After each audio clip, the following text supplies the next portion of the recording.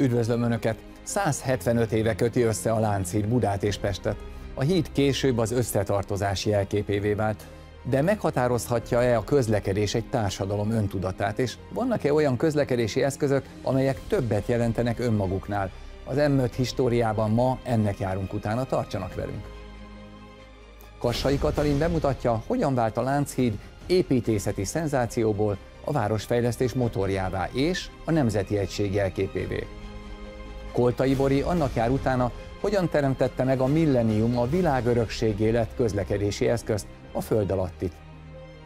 Mark Széva pedig hajón járja be Budapestet, ami egykor tengeri kikötő is volt. Ha Széchenyi István odaért volna édesapja temetésére, ma minden bizonyal nem lenne műalkotások témája, filmek helyszíne, történelmi pillanatok tanúja, polgári eszmék jelképe a Lánchíd. De miért lehet ennyire fontos egy közlekedési műtárgy, és hogyan bonthatott le egy több ezer éves határt kelet és nyugat között? Ezzel kezdünk.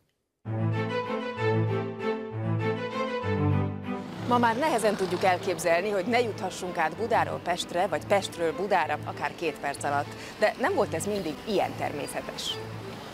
A főváros gazdasági és kereskedelmi fejlődése tette indokoltá, hogy egy átkelővel egyesüljön a két part. Nem csak a főváros, hanem az egész magyar történelmet szimbolizáló híd történetének és identitásképző szerepének eredünk ma nyomába. A Láncida elmúlt 175 évben gyakorlatilag mindent szimbolizált, amit el lehet képzelni. Nagyon sokat tudna mesélni ez a híd. Most kénytelen vagyok én mesélni a híd helyett. Széchenyi Istvánt a közérdek mellett egy személyes indítatás is motiválta a hídegylet megalapítására. A bécsi bankárt Sina Györgyöt szerezte meg az ügy mellé, aki a tervezésre William Törni Clarkot, az építés vezetésére pedig Adam Clarkot kérte fel. Az íre a pontot azt tette föl, amikor Gróf Széchenyi nem tudott eljönni az egyik rokonának a temetésére, ott rekedt a Pesti oldalon, és akkor tette az első kijelentését, hogy egy évi jövedelmét felajánlja, hogy itt Buda és Pest közt legyen egy normális átkelőhely. Egy hidat szeretnénk Magyarországon, a Duna felett cirka 1600 láb szélesen. Yes, sir.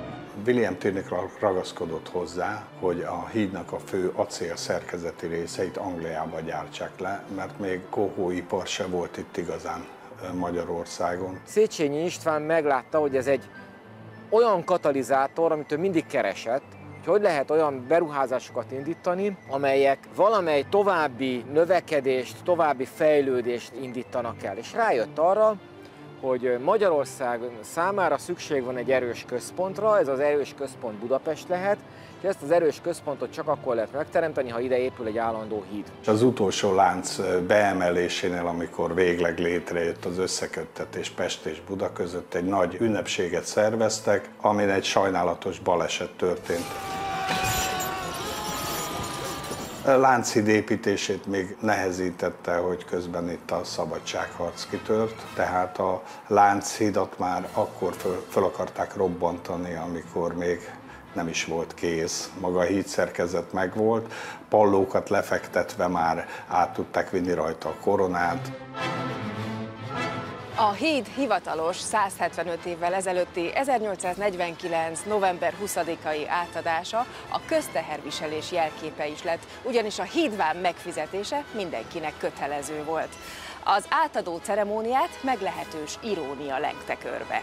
Pont az az ember, aki a legjobban megérdemelte volna, hogy elsőként menjen át a Lánchídon, az Gróf Széchenyi volt. Ő már akkor a Döblingi elmegyógy intézetben volt. Forradalmat leverő hajnaú sétált át elsőnek a Lánchidon. A magyar fejlődés élni akarás jelképe volt, amit ugye Széchenyi sokszor mondott, hogy Magyarország nem volt, hanem lesz. Igaz, hogy 49-ben, amikor átadták, pont Széchenyi soha nem látta, hajnaú avatta föl. A reformkori embereknek úgy hiszem, hogy ez egy fontos dolog volt.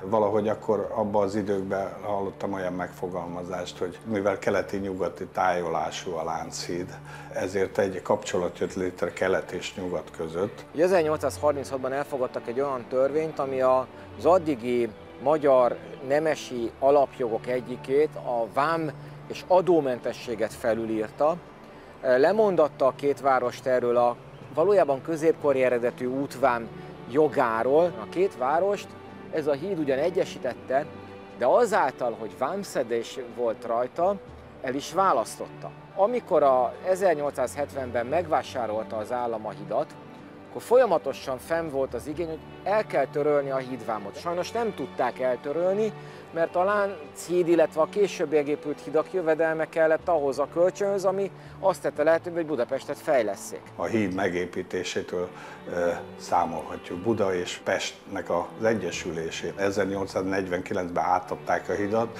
és 1873-ban már egyesítették Pestet, Budát, Óbudát.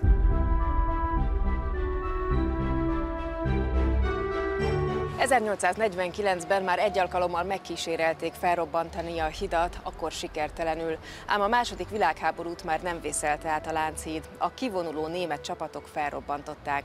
1949-ben a hivatalos átadás századik évfordulóján nyitották meg a felújított hidat, aminek hatalmas jelentősége volt a nemzettudat szempontjából.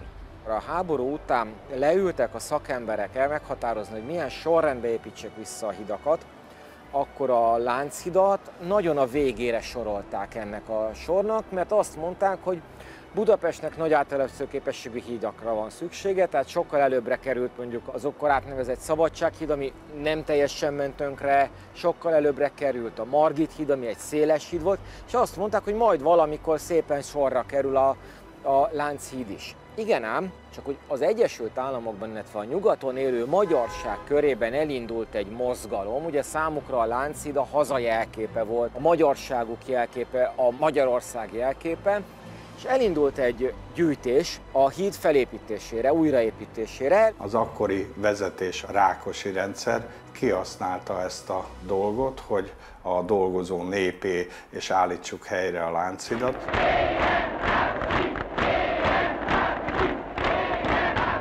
A kommunista párt látta meg ebben a propaganda értéket, hogy ez az ő propagandisztikus céljaikra megfelelő, és gyakorlatilag teljesen egy az egybe lenyúlták azt a mozgalmat, amit az amerikai magyarság indított. Tökéletesen lemásolták ugyanazt a rendszert, és itthon indítottak egy gyűjtést. És az emberek adományoztak.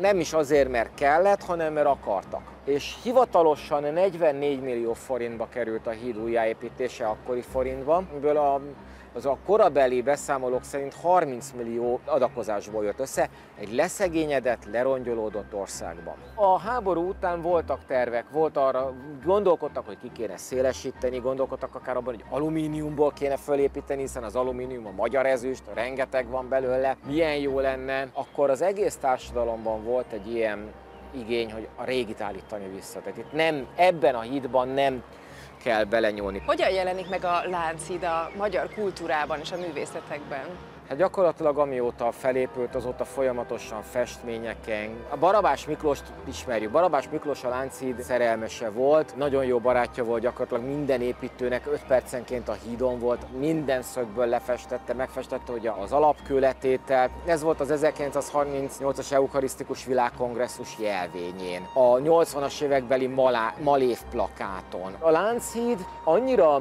benne van a köztudatban, hogy nem is használjuk a saját nevét. Tehát senki sem hívja Széchenyi Lánchídnak, mert ez a Lánchíd. Én itt születtem a Lánchídi hídmesteri szolgálati lakásba, és én azóta azért figyelemmel tudom követni a, a hídnak az életét. Szerencsére a Lánchíd azért mindig kiemelt szerepet kapott. Tehát a Lánchíd mindig is a megépülése óta Magyarország, illetve Budapest egy szimbóluma volt. Tehát egy nagyon fontos jelentőséget kapott ez a híd. Szoktam mondani, hogy a kövek közé beépítettek valami mást, amitől különleges lesz ez a híd. Nem véletlen lett ez a híd a világörökségnek a része UNESCO által kiemelt építmény. Napjainkra a Lánchíd a főváros és a Nemzeti Egység összekötő lánca, hazai és külföldi turisták kedvenc színhelye. Remélhetőleg még további legalább 175 évig őrzik a főváros ékességét a kőoroszlánok.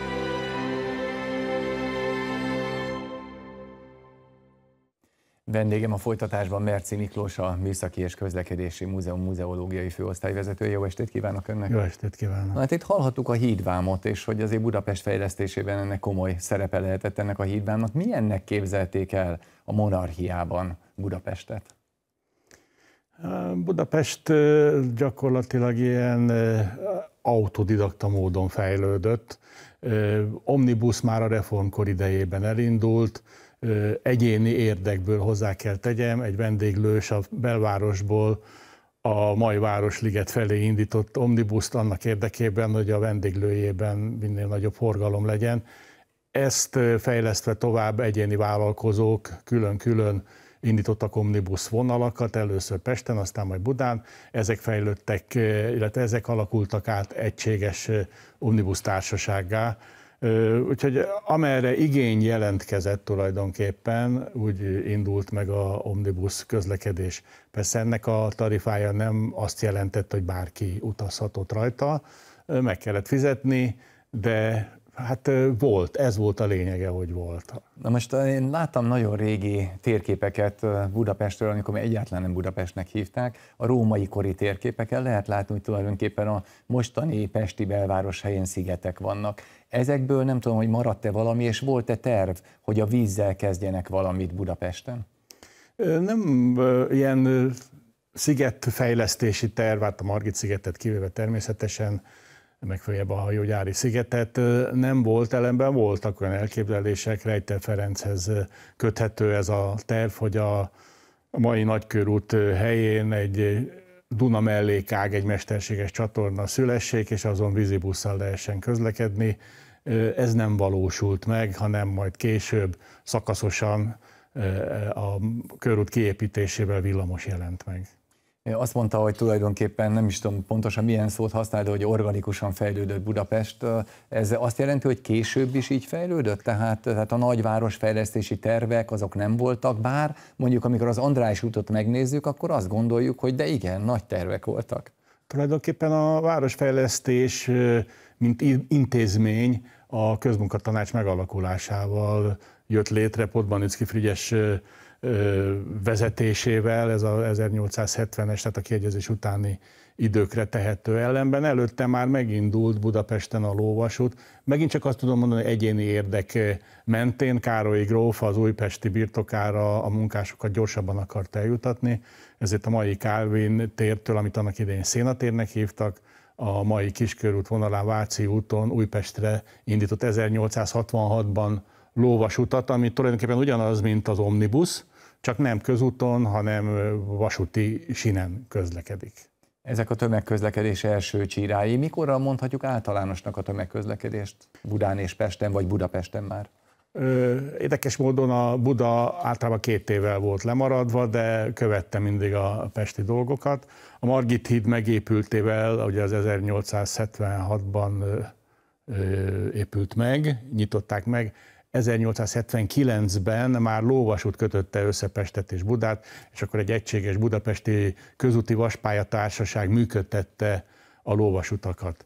Ebben az időben, hát inkább az 1880-as években jelent meg Balázs Mór a maga tanulmányával, aki gőz vontatta a tömegközlekedési eszközt, képzelt el a fővárosban öt vonalra, Podmanicki utca, Baros utca, a Körút, a Népszín, Népszínház utca, de addig-addig mentek ezek a tárgyalások ebben a, a projekttel kapcsolatban, hogy megjelent Siemens maga a villamos találmányával 1881-ben, és akkor Balázs Mór már ezt tudta a főváros elé terjeszteni, hogy akkor ne gőz, hanem villamos vontatású tömegközlekedés legyen. És mikor lett az első villamos?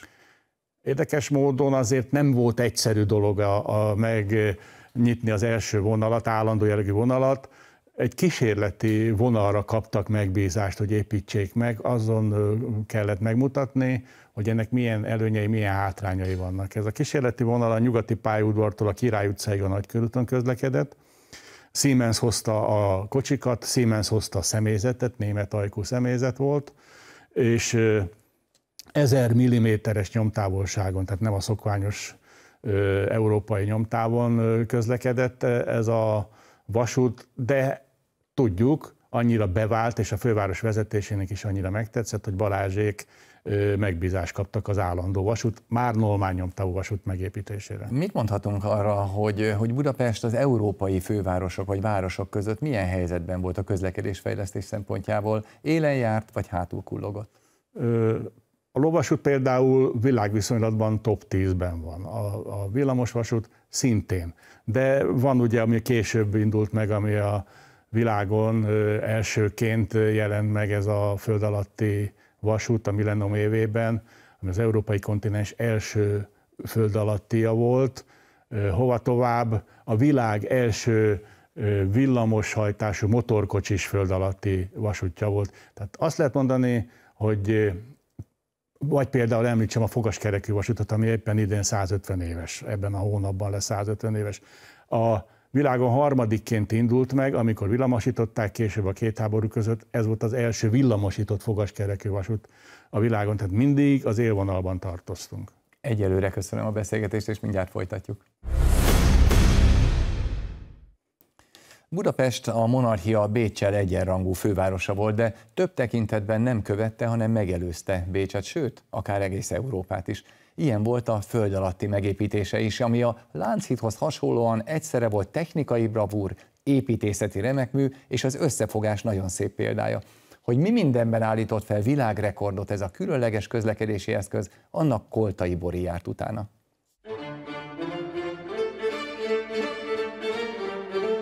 Magyarország fennállásának ezredik évfordulója alkalmából 1896. május 2-án országos ünnepségsorozat vette kezdetét.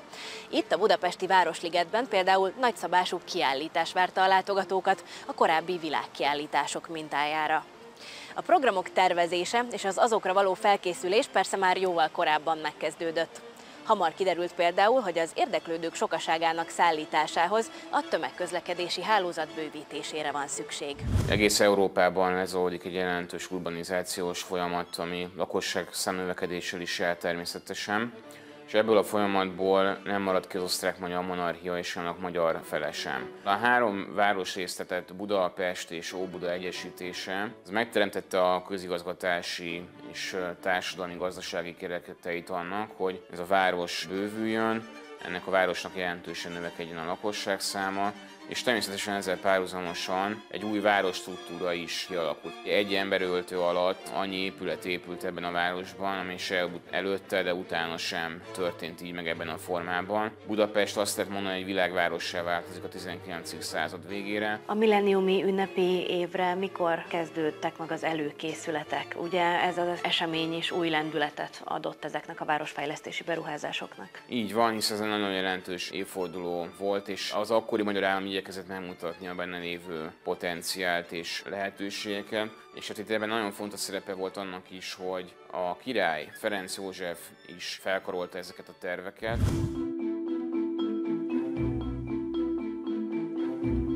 A Föld alatti vasúti múzeumban beszélgetünk, azon belül is egy igen különleges helyen. Mit érdemes tudni erről a szerelvényről, akár konkrétan erről a kocsiról, amiben ülünk? Ez a kocsi 1896-ban készült, az egyik első járműve volt a Föld alattinak, ami abban az évben, tehát a milleniumi ünnepségek évében készült el, egészen az 1970-es évek elejéig közlekedett. Egyébként hazai gyártmány, a Schlick készítette az elektrotechnikai hátteret, ami akkor egy óriási novum volt. Ezt a Siemens hozta. Érdekes, hogy 10 ilyen és 10 fémvázas párja készült el. 10 barna volt, 10 sárga volt. Egyébként még itt az ülésen is látszik ez a barna-sárga párosítás. Ez oda vezethető vissza, hogy valójában két egymással egyébként versengő villamos cég, tömegközlekedési vállalat hozta létre a kisföld alatti üzemét, és erre a projektre ők összefogtak. Soha korábban ilyet senki nem látott még.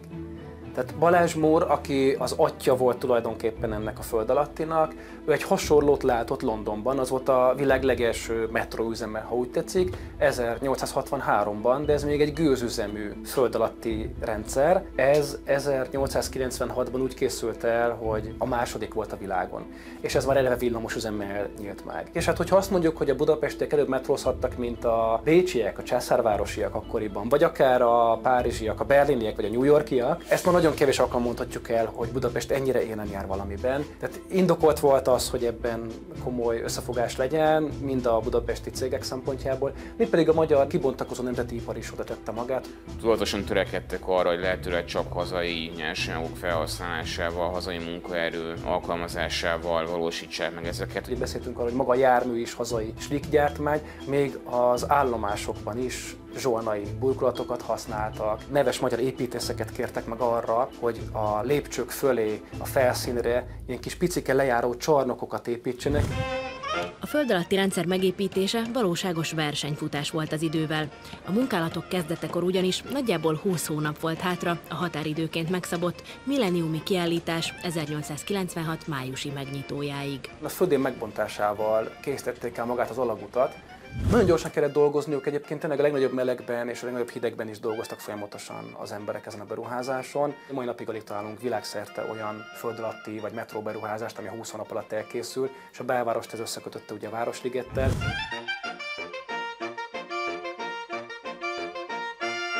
Ez a semmi fölött átívelő, látszólag értelmetlen építmény Magyarország egyik első vasbetonhídja. Egykor a sinek, azaz a vasút felszíni pályája fölé magasodott és gyalogátjáróként funkcionált.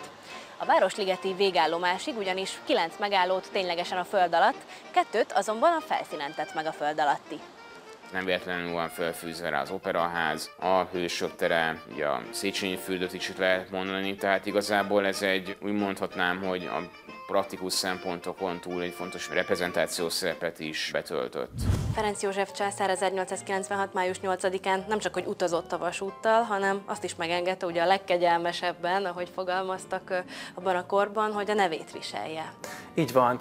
1896 májusától Ferenc József földalatti villamos vasút, a hivatalos neve annak, amit itt Budapesten csak kisföldalattinak hívunk. Látszik ez a jellegzetes kialakítása is a kocsiknak. Így van, ezre azért volt szükség, mert a körúti vízgyűjtő csatorna fölé és az úttest felszíne közé kellett beépíteni mind az alagutat, mind a járműveket, és emiatt egy olyan sajátos konstrukció jött létre, hogy a járműnek a forgóvázait a jármű széleire helyezték el, és ez a furcsa és egyébként nagyon szép hattyúnyak alak jött létre, egyben egy alacsony padlós járművet kaptak, hiszen így a peron szintjében tudtak belépni az utasok, tehát nem kellett lépcsőt mászni. Ott, ahol a hattyúnyak alak van, a fölé helyezték a járművezetői fülkét, ahova egyébként előről egy egészen picike lyukon keresztül lehetett bejutni, úgyhogy a járművezetőknek sem volt könnyű a dolga.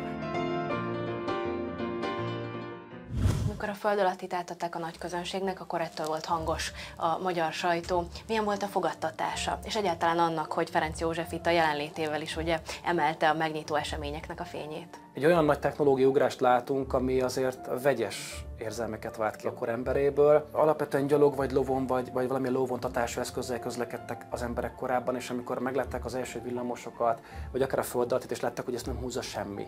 Nincsenek előtte jobbágyok, nincsenek előtte lovak. Érdekes, amikor mutatják az első villamost a császárvárosban, néhány évvel korábban Bécsben, akkor az osztrák sajtó tele van azzal, hogy ez valami ördögi szekér. Tehát kifejezetten félnek tőle az emberek. Budapestennél azért már kedvezőbb a fogadtatása ennek, hihetetlen utasszámokkal működött egyébként és nagyon népszerű volt, nagyon szerették az emberek. Úgy írja a korabeli magyar sajtó, hogy egy magnetikus perselyen keresztül lehetett belépni, tehát egy pénzérmét, hogyha bedobtak a peronnál, akkor nyílt ki a kapu. Ez most nagyon korszerűnek tűnik, az is egy, egy hihetetlen nagy újítás volt, hogy olyan vonatvezérlést tudtak létrehozni, aminek köszönhetően nem voltak balesetek. Tehát egy nagyon biztonságos vonal jött létre. Ma a föld alatt inkább egy olyan örökség, ami Magyarország legszebb időszakát idézi vissza. Olyan korszerű innovációk tömkeleg jelenik meg néhány éven, néhány évtizeden belül Budapesten, ami teljesen kiforgatja a mindennapokat a korábbi valóságból. Szerintem egészen lenyűgöző ez a korszak, hogy mire volt képes az ország és mire volt képes a főváros.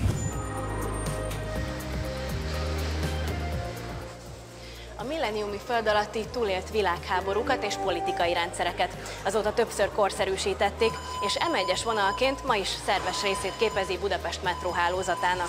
A kontinentális Európa első villamos föld alatti vasútja az Andrási úttal és a Hősök terével közösen 2002-ben a világörökség része lett. Mi pedig folytatjuk a beszélgetést Merci Miklossal, de most már arra térünk rá, hogy milyen volt a szocialista nagyváros eszménye. Ugye arról van szó, hogy itt létrehozzák a Rákosi rendszerben Nagy Budapestet, és ez rengeteg közlekedési feladatot ró a mérnökökre és a városüzemeltetőkre, hiszen be kellett kapcsolni ezeket a településeket Budapest egységes közlekedésébe. Igen, az hozzátartozik, hogy a főváros a Beszkártól egészen 1949-ig Beszkárt működtette a villamos hálózatot. Elég nagy hálózatot örökölt, amely vonalak egy-egy példánya kiment a külvárosokba is, Újpestre, Budafokra, Nagytéténybe, vagy akár Pesterzsébetre. Ezekre viszont a, a Nagy Budapest külső területeiről ráhordási igény jelentkezett, és ezt autóbusszal gondolták megoldani. Na most az autóbusz technológiája, technikája 1940-es, 50-es években nem volt valami csúcs. Ezért nagy gondok voltak a autóbuszokkal, olyan megoldást találtak ki, hogy a, a FAÜ, a fővárosi autóbuszüzem, amely önálló üzem volt, önálló üzem volt a villamos közlekedés is, önálló volt a hév is, csuklós autóbusz házilagos kivitelezésére vállalkozott.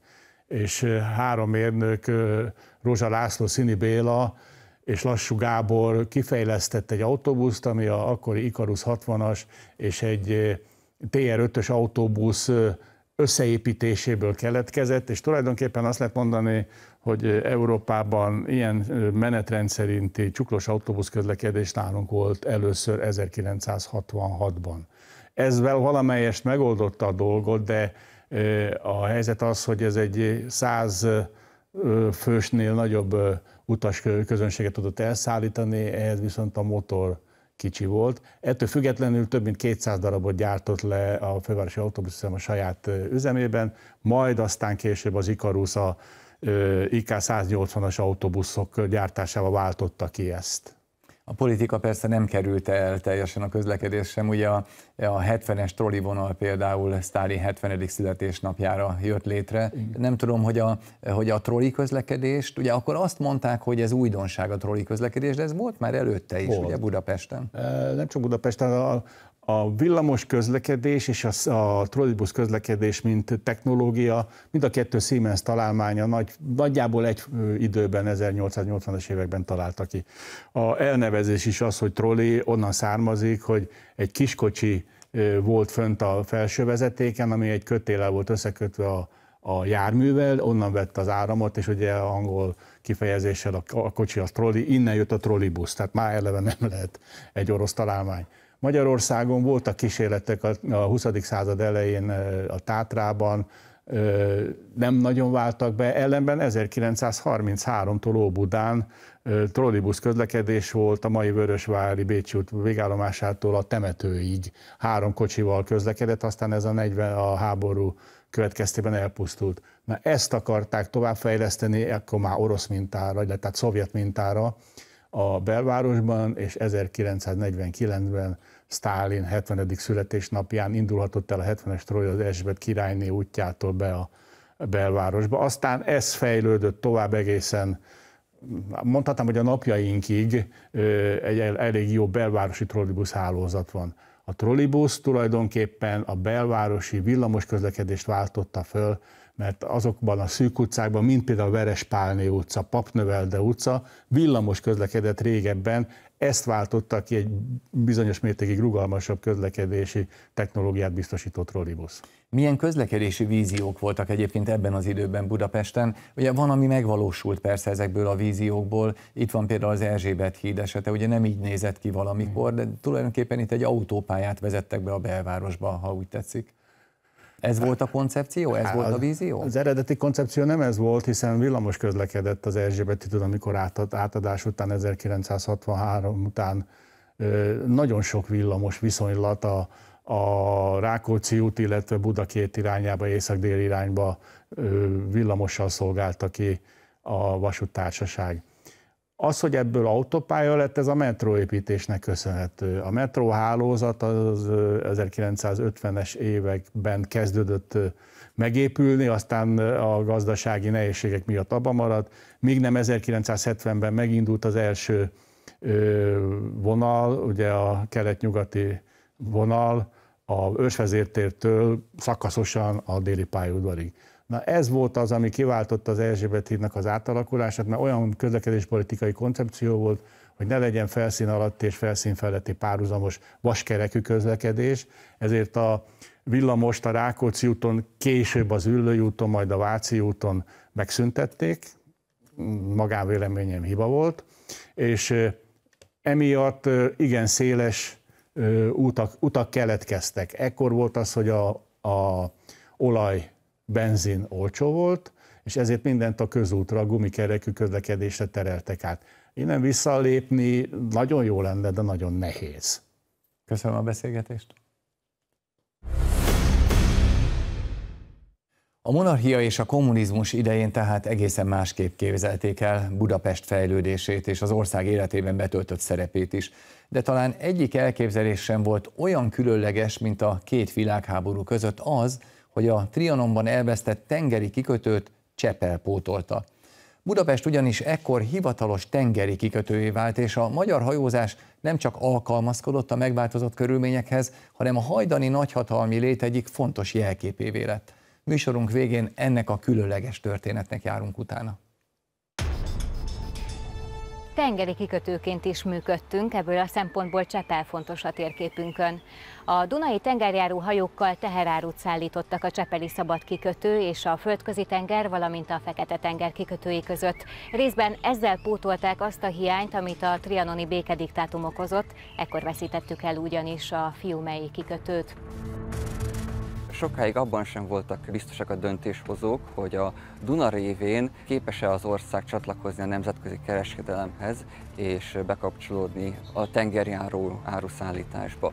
Ez 1928-ban a barcelonai szerződéssel ö, dőlt el, de ekkor még vissza volt az, hogy valóban képesek-e az újpesti hajógyártás révén, ami a legfejlettebb hajógyári telephelye volt Magyarországnak, tehát képesek-e olyan tengerjáró, Dunatengerjáró hajóegységet építeni, ami e- ezeknek a célkitűzéseknek megfelel. Itt épültek folyami hajók, épültek kis hajók a budapesti közlekedés számára, épültek nagy, hatalmas áruszállító és nagy luxus személyszállító hajók is, amelyek lejártak aztán a Vaskapura, Dunadeltába, vagy az osztrák-német kikötőkbe fölfelé. Épültek aztán Dunatengerjáró hajók. 1933-ra lett egészen biztos az, hogy ilyen hajóegységet képesek megtervezni, és már 34-re meg is építeni. Az egyik kulcspozíciója az országnak a hajógyártás mellett a Cseppeli szabad kikötő volt. A Dunának az egyik áruszállító, áruforgalmi hátránya az,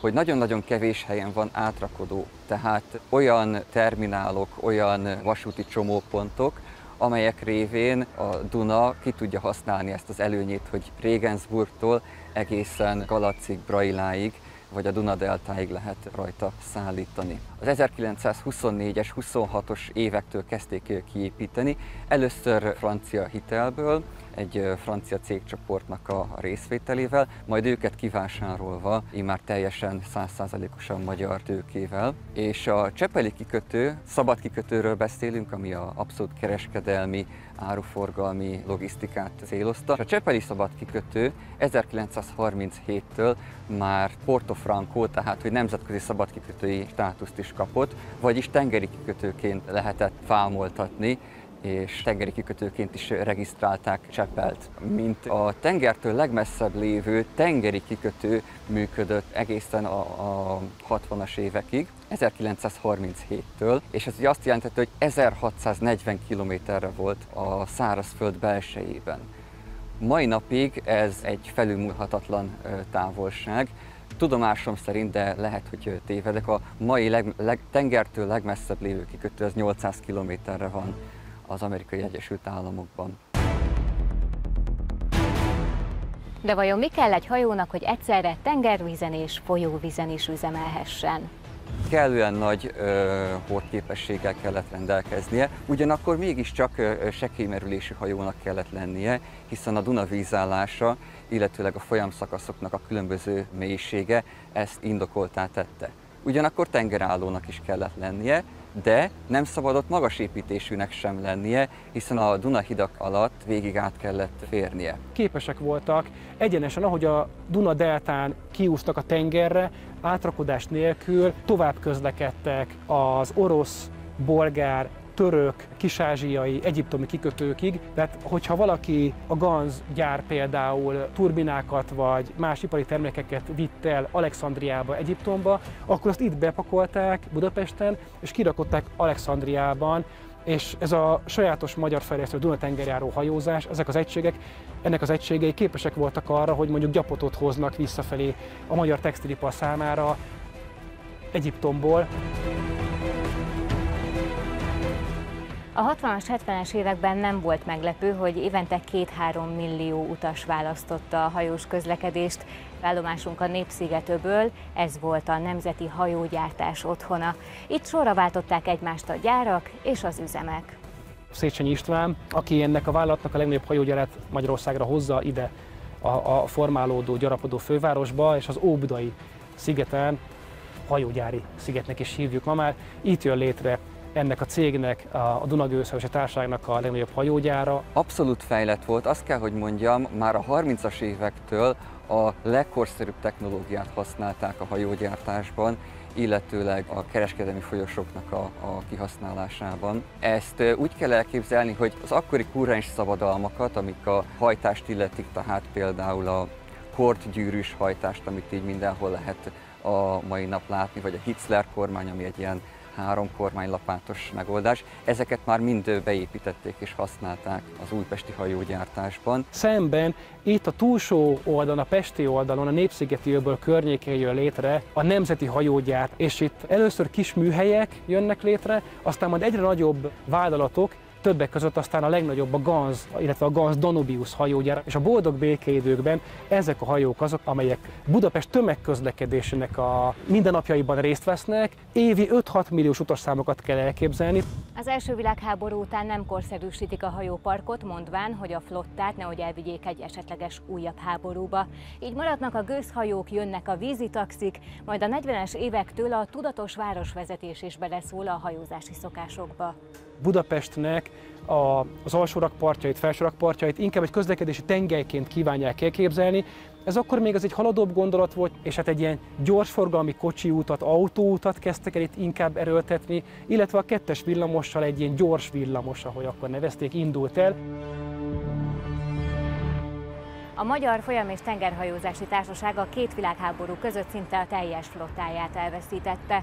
Egy hajójuk azonban megmaradt, ez a Zsófia nevet viselő protokollhajó, amelyen a kor leghíresebb művészei, írói, színészei és politikusai utaztak, köztük Hruscsov és Gagarin is. Az érdekesség, hogy a fővárostól lehetett rá jegyet váltani, de aki be akarta biztosítani magát a messze földön ismert luxushajóra, az akár New Yorkban előre is foglalhatott rá jegyet. Lajos korabeli terei voltak, dohányzó szalon, női szalon, férfi szalon, és csodálatos konyhája volt, ahol a Duna közepén bármilyen olyan ételt el tudtak készíteni, amit bármely vezető párizsi vagy New Yorki szállodával is el tudtak készíteni. Itt a 70-es években sajnos az a jellemző, hogy a régi szép lapátkerekes, nagy dunai gőzhajók, azok a hatalmas nagy ezerfős magyar dunai hajók, amik lejártak a Vaskapura vagy a Dunadeltára, akár Regensburgtól, amelyek szintén itt a Népszigeti öbölben épültek javarészt, ezeket szétvágják. Még a boldog békédők vagy a horti korszaknak voltak olyan emblematikus emléke, amiket nem kívántak megőrizni a Kádár korszakban, és ezeknek egy jó részét sajnos itt nem messze a Népszigeti öbölben vágták szét. Hasonló sorsra jutottak a tengerjáró hajóink is. A rendszer a 80-as évekre ezt a flottát külföldi befektetőknek adta el. És közbeszólt az is, hogy a folyami bárkák és tolatóhajók olcsóbban tudták az árut szállítani. Hogy milyenek voltak a tengerjáró hajóink, az utolsó darab, a ma már rendezvényhajóként funkcionáló, itt a budai rakparton horgonyzó 77 méter hosszú Debrecen, régi nevén Kassa nevű Dunai tengerhajó adhat képet.